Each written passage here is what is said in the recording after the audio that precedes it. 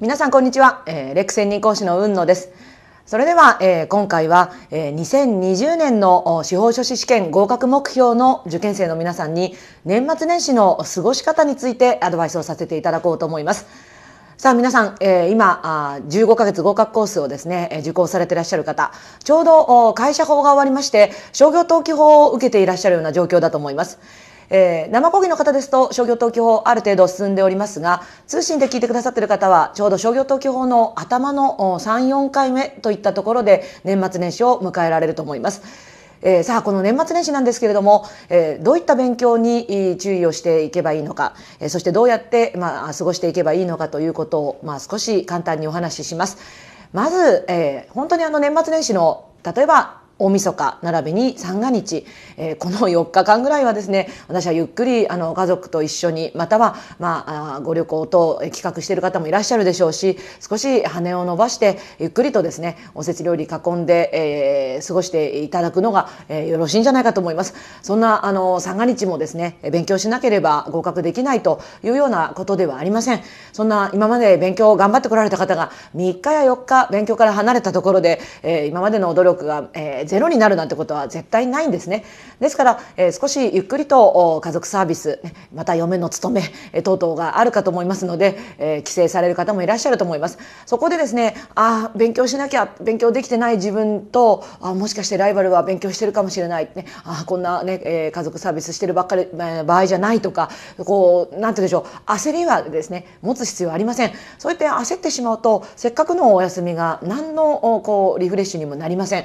ですからもう、本当にね、えーこの4日間はとにかく勉強から遠ざかる、ね、その代わりにあの家族と楽しい時を過ごす、ね、またはゆっくりと体の今までの疲れを取る、ね、美味しいもの食べる、ね、で勉強から離れている自分に対してですねこう罪悪感とか持つ必要は全くありません。もう本当にあれですよ。罪悪感とか持つだけ、えー、無駄というかもったいない、ね、私なんかもあのー年末年始自分が受験生だった二十何年前二十三四年前二十四年前、えー、なんかをこう遡って二十四年前じゃない二十五年前か、えー、考えてみるんですね。もう本当にあの逆に勉強から切り離してもう完全にお正月を楽しみました、朝からもうねおとそだなんだで飲んじゃえば 飲んでしまえば勉強どころではなくなりますから逆にそうやってもう割り切って、えー、羽を伸ばした記憶があります、えー、ですので皆さんもそこはまず、えー、間違いなく、えー、休んで大丈夫ですからそれはもう講師である私が太鼓判を押します。でそれを踏まえた上でですね、まあ、その前後年末年始の休暇、えー、ないしは、まあ、実際に講義が配信されていくような、えー、その間に関してはえー、まず1月の15日をめどに不動産登記法のですね、えー、復習というものを一つけりをつけていただきたいんです。1月15日をめどにですね。で、不動産登記法の復習、えー、これがデッドラインとなります。通信の方へのアドバイスですよ。で、えー、DVD の方であれば1月いっぱいまで、えーあの伸ばしていただいて構いません、えー、ウェブの通信の方は1月の15日そして、えー DVD の方は1月末不動産登記法の復習、えー、けりをつけるというのはまず合格ゾーン、えー、必ず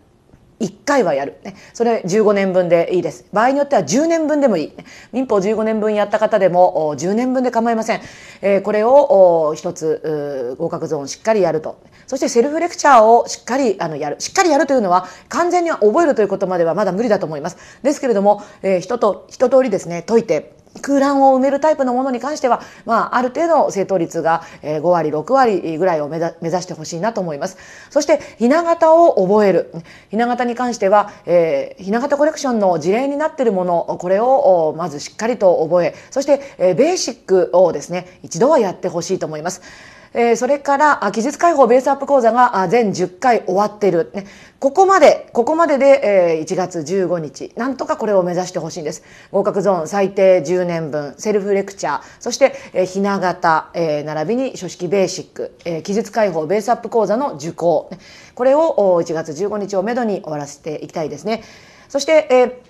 生講義の方にはすでに12月いっぱいをめどになんとかですね今のメニューを終わらせようというアドバイスをしておりますので生講義の方はちょっと通信の方よりも2週間早くなっていますので12月末をめどにしてみてください。そしてそれが終わり次第ですね会社法消灯法の勉強というものにウェイトを、えーずらしていってほしいんですけれどもそれはあの商業登記法の1回目で申し上げた通り、えー、商業登記法と会社法は、えー、連動していますから一緒に復習をしていくということをご注意ください。会社法で例えば、えー商業登記法で例えば募集株式の発行の講義を聞いたのであればその日の復習はまず会社法の募集株式発行のセルフレクチャー。で商業登記法の募集株式発行のセルフレクチャー。そして会社法の、えー、募集株式発行の部分についての合格ゾーン、えー、それから商業登記法の母株発行のところの合格ゾーン、ね、そして募集株式発行のひな形を覚える、ね、というような形で、えー、単元ごとに会社法と商東法をセットで勉強していくというのがおすすめだということは申し上げたと通りです。ぜひそれを年末年始の、えー、不当法の蹴りがついた後にですね、取り入れていっていただきたいと思います。そして年末年始にですね、何か一つ、えー、まあ、講座を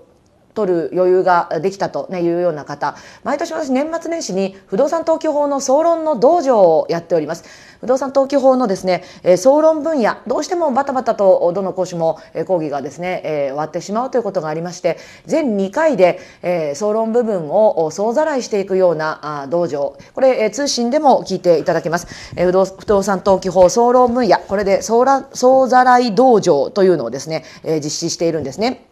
で、こちらなんですけれども、これパンフレット、えー、パンフレットがですね、この聖戦東連実力要請編というですね、あの、青と赤の、えー、パンフレットのページ、26ページに載っているんですが、不動産登記法総論分野、これで総ざらい道場。で、今年に関してはですね、えー食券登記、食卓登記のすべてを全部解説。もうこれ、毎年のことなんですが、全部解説ということを心がけております。えー、いわゆる、えー、全部解説していきたい、ね。あの、図表になっているものを全部、えー、食券登記、食卓登記を解説していきます。これがメインになってきます。そして、補正取り下げ却下の全部解説。並びに、えー、判決代位の登記についてもですね、お話をしていこうと思います。そして、昨年実施の部分については、主登記、不記登記の全部解説。ここにですねですねあのちょっとレジュメ見本がコマがちっちゃいんですけどその、えー、こちらのところにですねいわゆる主登記不記登記などの部分を全部解説していこうというねあのそれが昨年実施の部分の